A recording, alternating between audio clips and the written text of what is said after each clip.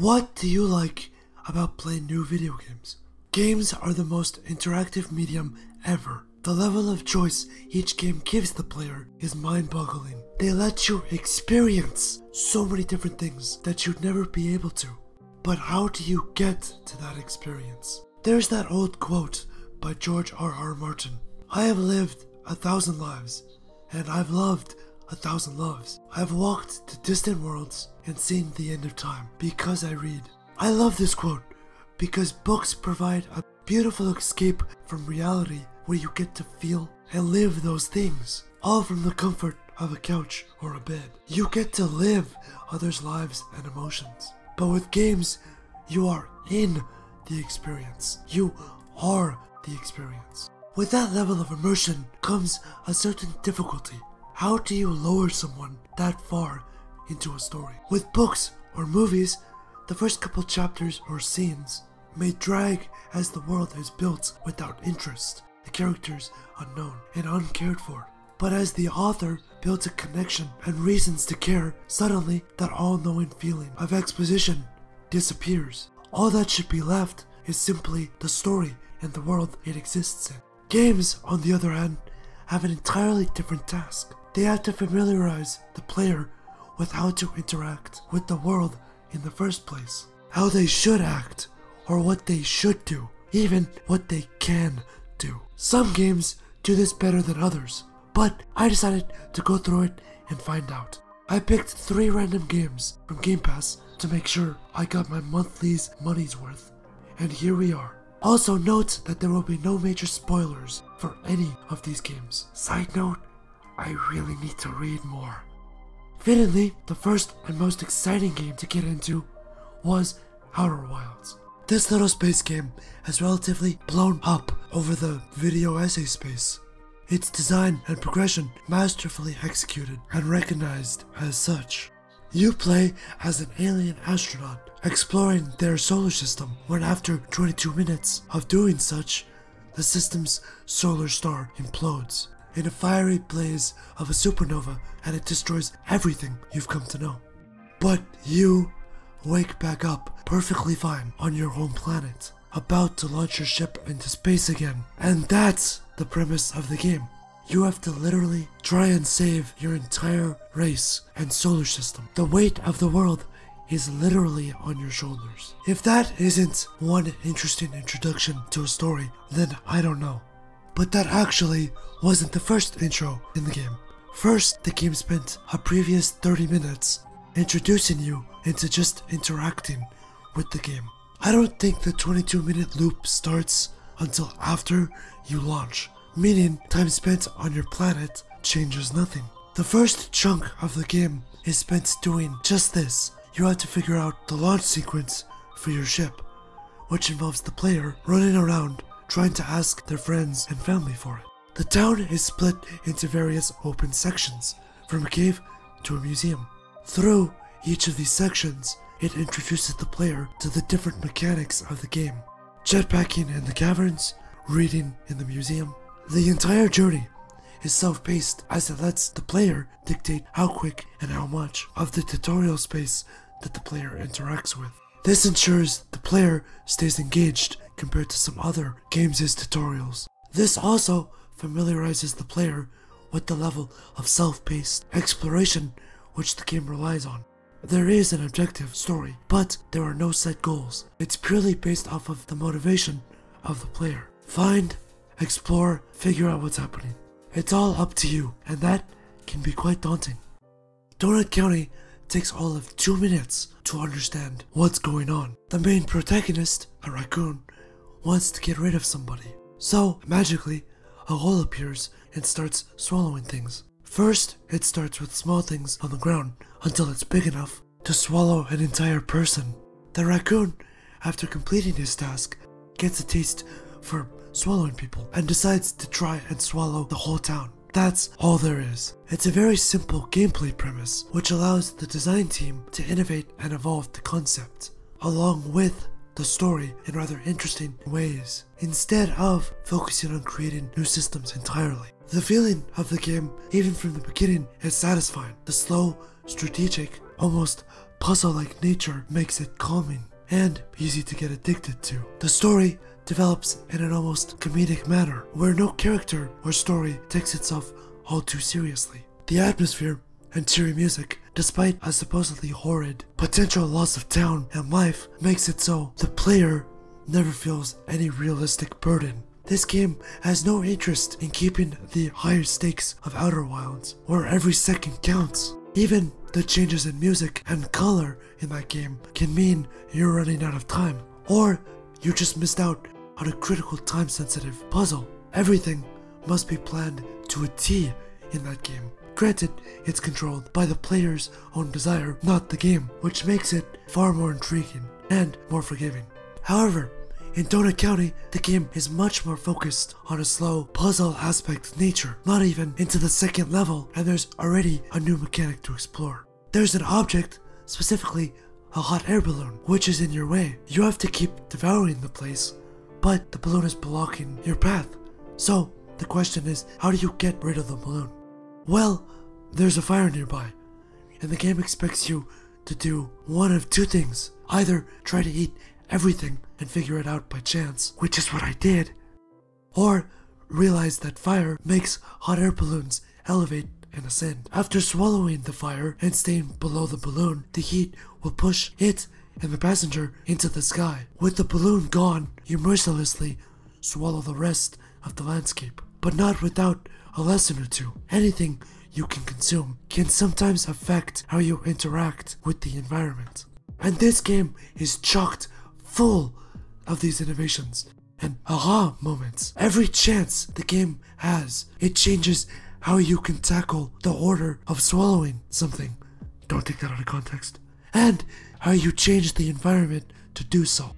Raji, an Ancient Epic, on the other hand, takes a jarringly different approach to both these games in introducing its own world and new mechanics. The game opens with a cinematic of what I'm guessing is traditional Hindu puppets depicting a story. Raji and her brother Golu live life without their parents, but always have each other's backs. One day, while in their town, they are attacked and set upon by demons. The demons take Golu and leave Raji for dead. The Hindu gods decide to give Raji the divine purpose of defeating these demons and saving Golu. The intro to the game is devoid of any interaction, unlike our other two games, which leads to an overall overwhelming sense of confusion. The game space and medium is designed to include the player. That's what makes everything begin to feel familiar with the game and teach the common ways in which any game will interact with you, the player. Raji takes one look at this theme and sidesteps away. Once you're into the actual gameplay, something becomes abundantly clear. Through the movement of Raji, her responsiveness to your input is already and immediately stiff, just like the intro, but the animations of your movement feel buttery smooth, creating a sort of jointed movement. The leaps you make across several caverns in the opening section makes it clear the game prefers a sort of smooth, artsy flow rather than a particularly responsive, open-ended experience. All the while, you begin to walk. The Hindu gods, Vishnu and Durga, omnisciently begin debating your actions and abilities within the tutorial itself. Even as they have called upon Raji to fulfill this role, they remain reluctant to trust a certain result. Thankfully, her confidence cannot be shaken as she cannot hear this, but as the player of this stiff, jointed, and now judged character, the space feels almost alienating, even more than before. Strange intros, stuck up mechanical introductions, but that's on purpose. As the game progresses and you are introduced into the actual combat, the flow is completely interrupted again and again with each new mechanic. It isn't like Outer Wilds or Donut County, where the game prompts the player to figure out what to do with a new item. No, the player is directly stopped dead in their tracks and told about the weapon by the two gods, followed by a literal tutorial with an astral figure telling you to mimic its motions of how to fight enemies. Every time the game introduces anything new to you, it's either through another puppet cutscene or this direct pause of a tutorial. it honestly feels discordant with the medium, like an action movie with a clumsy writer that pauses to explain everything between the smooth fight sequences. But that's exactly the point. The style is reminiscent of a literary epic, stories told by ancient cultures, which are often exciting, thrilling, action stories about their own history or morals, but with weird pauses and narrations which could feel alienating to written works but not oral narratives. The entire game's aesthetic even points to the inspiration. From the stylistic pause menu to even the upgrade menu, it's all through these atmospheric stylings. While the other two games may go for a smooth gameplay experience and use the medium to its fullest and easiest immersions, Raji is much more interested in giving you the feel and experience of an epic within the trappings of a game space. It's quite brilliant. The genre is so different from what we've come to expect that it feels strange, alienating. The fact that this game can pull it off is really exciting. Each of these games delivers a completely different way of immersion. Raji is focused on trying to get you to feel a sort of meta story. Donut County is interested in the mechanical creativity, and Outer Wilds is interested in the harmony of Ludo narratives. However, each of these styles can be draining in their own right. Raji can feel too disconnected at times, and like the game is uninterested in keeping your attention, while Donut County can feel far too repetitive because of its simple nature. Outer Wilds, with its masterfully crafted exploration, can feel all too aimless if you don't hit the story beats in the perfect order. But all of these have their reasons. Raji's disconnected nature serves a narrative purpose of portraying an epic in addition to the several nuances to the weapons, like using pillars in the environment to add ingenuity and expression to the combat, even within its scripted parameters. Donut County doesn't last for long, and uses things such as the Trashopedia, basically an encyclopedia written from the point of a raccoon, to add flavor to the context of the world, even in innovative use of menu interactivity, to the point where even something as simple as opening blinds feels nuanced in this game. Everywhere you look, you'll find some new addition to the game.